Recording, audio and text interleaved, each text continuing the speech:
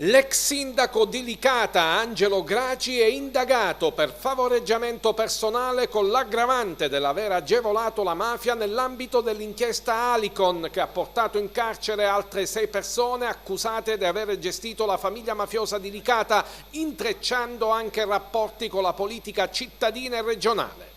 L'ex sindaco il 13 aprile del 2017 è stato intercettato nell'ovile di un altro presunto affiliato, Giacomo Case, nella conversazione ipotizzano i PM della DDA di Palermo, rivendica di avere fatto da tramite nei confronti dell'attuale deputato regionale Carmelo Pullara per trovare una sistemazione lavorativa ai figli di casa.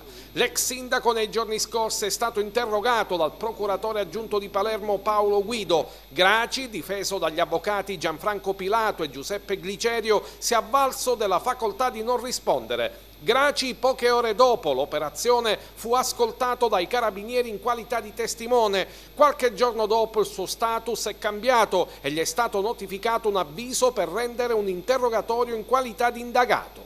I PM sottolineano l'episodio, si legge nel provvedimento, offre una tangibile prova del radicato potere mafioso acquisito dalla famiglia di Licata, capace di tessere segreti rapporti con compiacenti esponenti politici.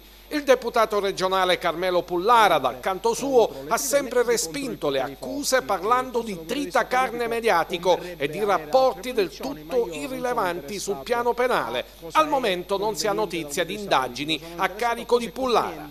Intanto i giudici del Tribunale del riesame di Palermo hanno rigettato la richiesta difensiva e confermato l'arresto del farmacista Angelo Lauria, 45 anni finito in carcere nell'operazione antimafia Alicon lo scorso 31 luglio con l'accusa di carabiniere DDA di Palermo di essere un affiliato della Cosca di Licata. Il difensore, l'avvocato Giuseppe Di Peri, aveva chiesto al Tribunale della Libertà di annullare il provvedimento di arresto, ritenendo che il quadro indiziario fosse insussistente.